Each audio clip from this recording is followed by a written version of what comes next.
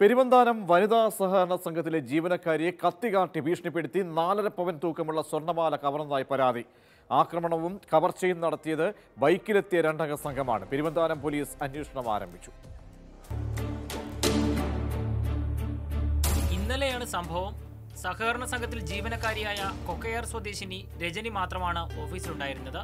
രജനി ഭക്ഷണം കഴിച്ചുകൊണ്ടിരുന്ന സമയം ഓഫീസിൽ കയറിയ യുവാവ് ഓടിയെത്തി മാല പൊട്ടിക്കാൻ ശ്രമിക്കുകയും എതിർത്തതോടെ കത്തി കാണിച്ച് ഭീഷണിപ്പെടുത്തി മാല അപഹരിച്ചതായും പരാതിയിൽ പറയുന്നു. രജനിയുടെ നിലവിളി കേട്ട് ആളുകൾ ഓടിയെത്തിയപ്പോൾ സമീപത്ത് സ്റ്റാർട്ട് ചെയ്ത് നിർത്തിയിരുന്ന ബൈക്കിൽ കയറി ചുവപ്പ് ഷർട്ടിട്ട യുവാവ് പോകുന്നതായി കണ്ടെന്ന് സമീപത്തെ വ്യാപാര സ്ഥാപനത്തിലെ ജീവനക്കാരി പറഞ്ഞു. ടൗണിൽ നിന്നും മാറി ഒറ്റപ്പെട്ട കെട്ടിടമായതിനാൽ ഈ ഭാഗത്ത് സി സി ടി വി ക്യാമറകളില്ല. കവർച്ചയ്ക്ക് ശേഷം ബൈക്ക് കുട്ടിക്കാനം ഭാഗത്തേക്കാണ് പോയത്.